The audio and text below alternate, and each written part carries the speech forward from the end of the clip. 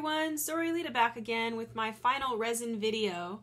Uh, yesterday I mentioned that I was going to try doing a flower in resin.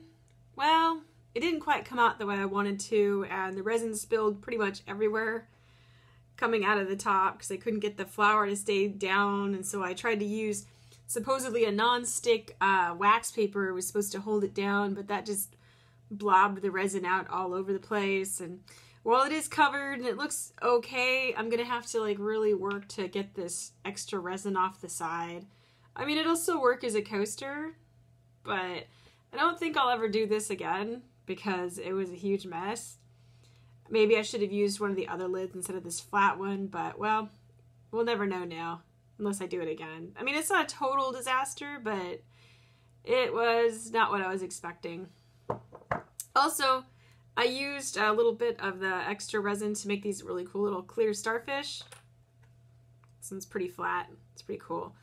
And uh, yeah, I'm still plugging away on the Kickstarter. Um, really hoping that I can get some more pledges.